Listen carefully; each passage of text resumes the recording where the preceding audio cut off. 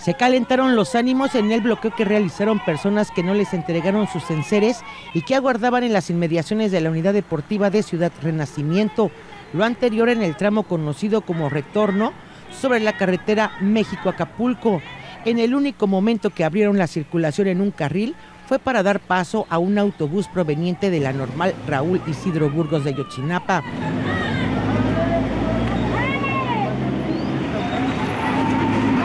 Los manifestantes señalaron que fueron engañados, pues sus colonias nunca se les asignó un día de entrega y piden se les den sus enseres. Nomás me regresan, que porque todavía no me toca la colonia. Y en cambio, ahorita yo, pues yo no tengo ese celular, lo que tienen, que tanto que ven, yo no, no sé leer.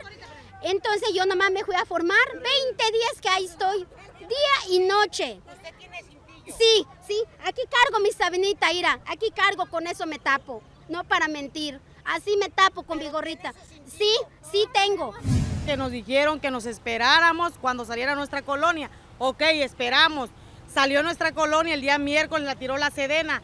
No han dado anseres. Como siempre hay personas también que nada tienen que pedir ni hacer pero ahí están en las movilizaciones. Pues yo, a mí ya gracias a Dios me lo dieron, pero yo siento feo de ellos que están el rayo del sol, porque yo también dicen que son 15 días que ellos están allá, 20 días y no le dan nada. Ante este bloqueo, personal de caminos y puentes federales desviaron el flujo vehicular hacia la zona diamante vía Metlapil.